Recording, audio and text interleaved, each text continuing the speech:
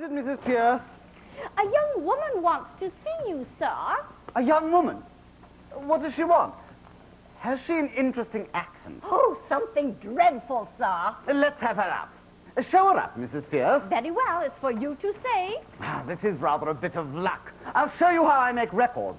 We'll set her talking, and I'll take her down in Bell's visible speech, then in broad Romic. Then we'll get her on the phonograph so that you can turn her on as often as you like with the written transcripts before you. This is the young woman, uh, sir. Oh, no. This is the girl I jotted down last night. She's no use. I've got all the records I want of the Lisson Grove lingo. I'm not going to waste another cylinder on it. Be off with you. I don't want you. Don't you be so saucy. You ain't heard what I come for yet. Did you tell him I come in a taxi? Nonsense, gal. What do you think a gentleman like Mr. Higgins cares when you came in? Oh, we are proud. Well, I ain't above giving lessons, not him. I heard him say so. And I ain't asking for any compliments. My money's not good enough. I can go elsewhere. Good enough for what? Good enough for you. Now you know, don't you? I come to have lessons. I are going to pay for 'em too. Make no mistake. Well, what do you expect me to say? Well, if you was a gentleman, you might ask me to sit down, I think. And don't I tell you I'm bringing you business? Pickering, shall we ask this baggage to sit down, or shall we throw her out of the window? Ow! I won't be called a baggage, not when I've offered to pay like any lady. But what is it you want? I want to be a lady in a, in a flower shop. Instead of selling flowers at the corner of Tottenham Court Road. But they won't take me unless I can talk more genteel. Well, he said he could teach me, so here I am, ready to pay, not asking any favour, and he treats me as if I was dirt. Well, I know what lessons cost, and I'm ready to pay. How much? Now you're talking. I knew you'd come off it when you saw a chance of getting back at me a bit of what you chucked at me last night. You'd had a top in, hadn't you? Uh, sit down. Perhaps you call make a compliment of it. Sit down. What is your name? Eliza Doolittle. Won't you please sit down, Miss Doolittle? Yes, I, I don't mind if I do. How much do you propose to pay me for the lessons? Oh, I know it's right. Elijah, friend of mine, gets French lessons for 18 pence an hour from a real French gentleman. Well, you wouldn't have the face to ask me the same for teaching me my own language as you would for French. So I won't pay more than a shilling. Take it or leave it.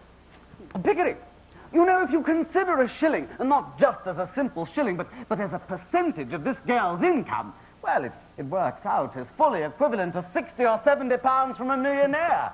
By George, it's the biggest offer I ever got. Sixty pounds? Oh, oh, I never offered you sixty pounds.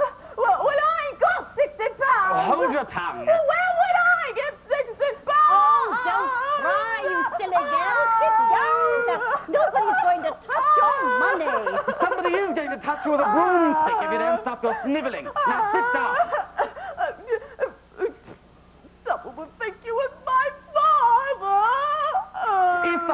To teach you, I shall be worse than two fathers to you. Here. What's that for? To wipe your eyes. uh, to wipe any part of your face that feels moist. Remember, that is your handkerchief. That is your sleeve. Don't mistake the one for the other if you wish to become a lady in a shop. Higgins, I'm interested. What about your boat that you could pass her off as a duchess at the embassy ball? I'll say you're the greatest teacher alive if you can make that good. I'll bet you all the expenses of the experiment you can't do it. And I'll even pay for the lessons.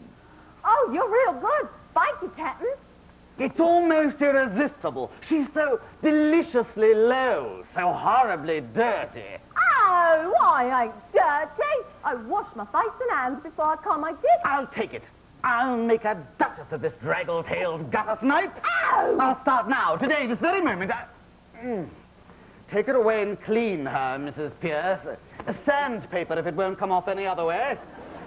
Is there a good fire in the kitchen? Yes, but... Take all her clothes off and burn them. Ring up and order some new ones. You can wrap her in brown paper till they come.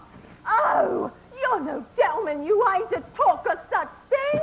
Well, I'm a good girl, I am, and I know what the likes of you are, I do. We want none of your slum prudery here, young woman. You must learn to behave like a duchess.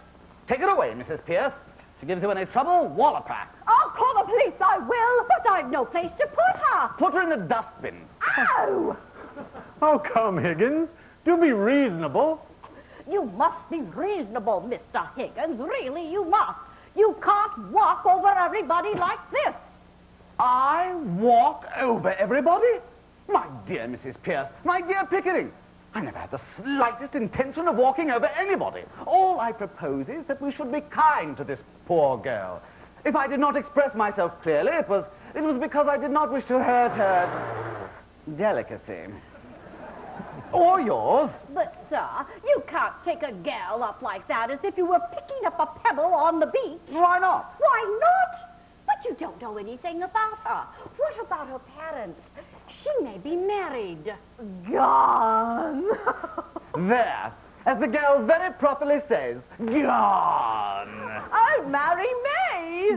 By George Eliza, the streets will be strewn with the bodies of men shooting themselves for your sake before I've done with you. Here, here, I- I'm going. Ain't your fist chumpy, eh? Well, I won't have no balmy seat in me. Oh, indeed, so I'm mad, am I? Uh, very well. Mrs. Pierce, you needn't order the new clothes for her. Throw her out. Stop, Mr. Higgins. I won't allow it. Go home to your parents, gal. I ain't got no parents. Uh, She says she ain't got no parents. Now, what's all the fuss about? The girl doesn't belong to anybody. She's no use to anybody but me. Now, take her upstairs But and... what's to become of her? Is she to be paid anything? Oh, do be sensible, sir. What on earth will she want with money? She'll have her food and her clothes. She'll only drink if you give her money. You are a brute. It's a lie. No one's ever saw the sign of liquor on me. Oh, sir, you're a gentleman. Don't let him speak to me like that. Does it occur to you, Higgins, that the girl has some feelings? No, no, I don't think so. No, no feelings we need bother about, have you, Eliza? Mr. Higgins, I must know on what terms the girl is to be here. What's to become of her when you've finished your teaching? You must look ahead a little, sir. What's to become of her if I leave her in the gutter? Answer me that, Mrs. Pierce. Well, that's her own business, not yours, Mr. Higgins. Hmm. Well, after I've done with her, we can throw her back into the gutter, and then it will be her own business again, so that's all right. Oh, You no feeling, aren't you? You don't think of nothing but yourself. Yeah, I've had enough of this. I'm going. Eliza.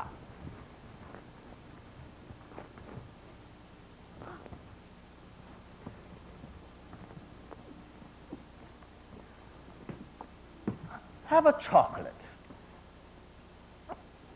As I know it might be in it.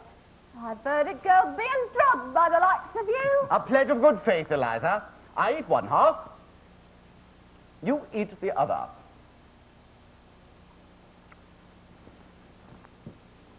You shall have boxes of them. Barrels of them. Every day. You shall live on them, eh?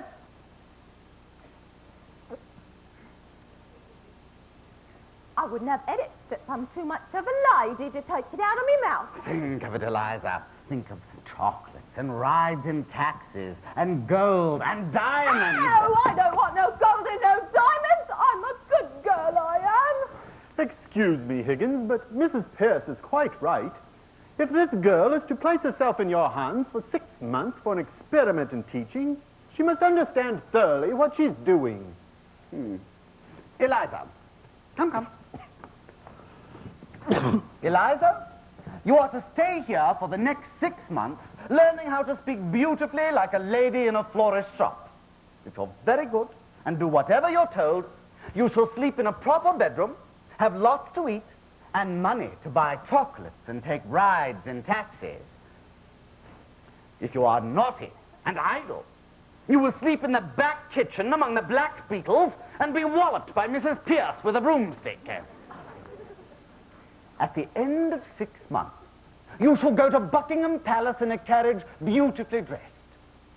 If the king finds out you are not a lady, you will be taken by the police to the Tower of London, where your head will be cut off as a warning to other presumptuous flower girls. If you are not found out, you shall be given a present of seven and six to start life with as a lady in a shop. If you refuse this offer, you will be the most ungrateful, wicked girl, and the angels will weep for you. Satisfied, Pickering? Could I put it any more plainly or fairly, Mrs. Pierce? Come with me, Eliza. Thank you, Mrs. Pierce. Bundle her off to the bathroom. Oh, you're a great bully, you are. Well, I won't stay here if I don't like, and I won't let wallet me. Oh, don't answer that, gal. If I'd have known what I was getting myself in for, I'd have never come up here. Oh, I'm a good girl, I am, and I won't be put about. Six months. Three. If she has a good ear and a quick tongue, I shall take her anywhere and pass her off as anything.